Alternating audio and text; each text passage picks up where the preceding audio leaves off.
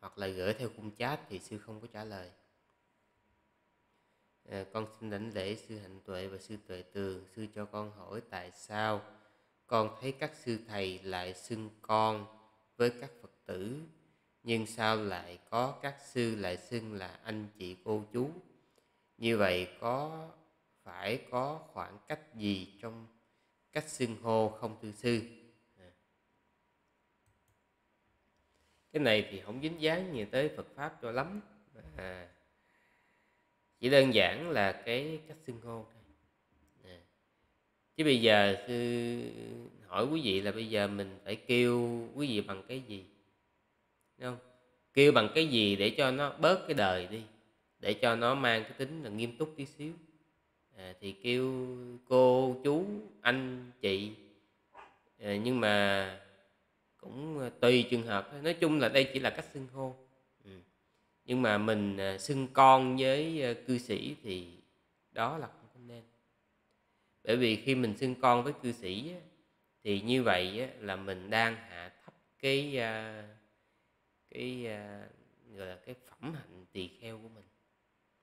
Rồi mình cũng sẽ làm cho người ta à, không có sự tôn trọng đối với vị tỷ kheo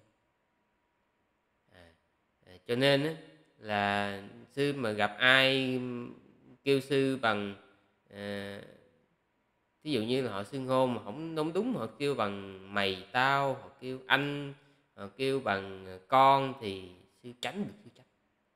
Để ờ, tránh họ tạo thêm cái khẩu nghiệp không đáng có. À, tại vì nhiều người họ chưa hiểu đạo thì mình nên tránh cái đó. Huống chi là mình đi mình chủ động để mình tạo thêm nghiệp bây giờ thì ờ, có đôi khi thì uh, sư có thể dùng cái với những bạn trẻ thì sư dùng từ là các bạn để nói cho nó có vẻ nó gần gũi hơn. Còn nếu kêu bằng chú bằng cô thì có đôi khi nó nó hơi khoảng cách quá. Thì đó chỉ đơn giản là cái xưng hô thôi. Không biết đại đức tại tuệ tường có cái nhìn như thế nào? À, kính thưa đại đức kính thưa quý vị sư cũng hoàn toàn đồng ý với quan điểm của đức hành tại có nghĩa là mặc dù câu hỏi này ngoài lời tí nhưng mà quý sư vẫn uh, dạ, nói rõ cho quý vị hiểu. Là cái danh xưng thưa vị cái danh xưng là đúng đó. là đầu tiên phải phù hợp. Phù hợp là phù hợp với cái phương diện đạo lẫn đời quý vị.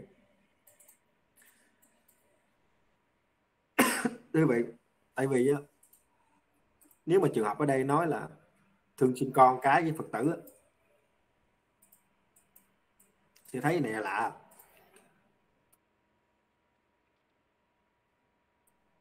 Bởi vì sao?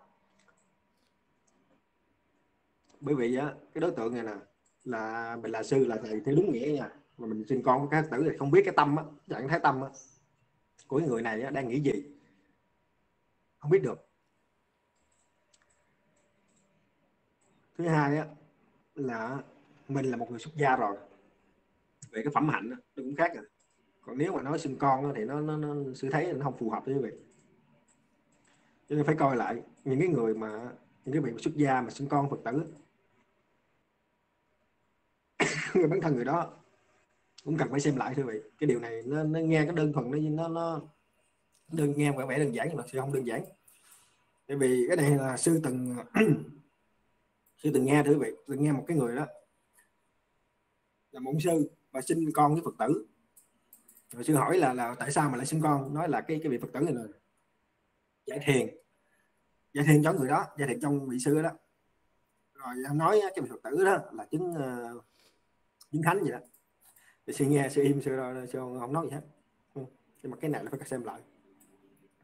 Còn cái việc mà đức hành tệ nói là xưng anh chị cô chú rồi đó thì đó là cũng lẽ lẽ thường thôi cho nên cũng uh, miễn sao nó phù hợp với cái lời dạy đức phật và phù hợp với uh, thế gian thì chấp nhận được thưa vị còn ngoài ra những cái mà xưng hô bất thường đó, thì cần phải xem lại tâm của cái người xưng hô đó như thế nào. Mình có tà mạng không? Không hay mình có bị tà kiến không? Vâng, nên phần là phần cần phải lưu tâm nữa vậy dạ cũng xin kết thúc phần trả lời câu hỏi này.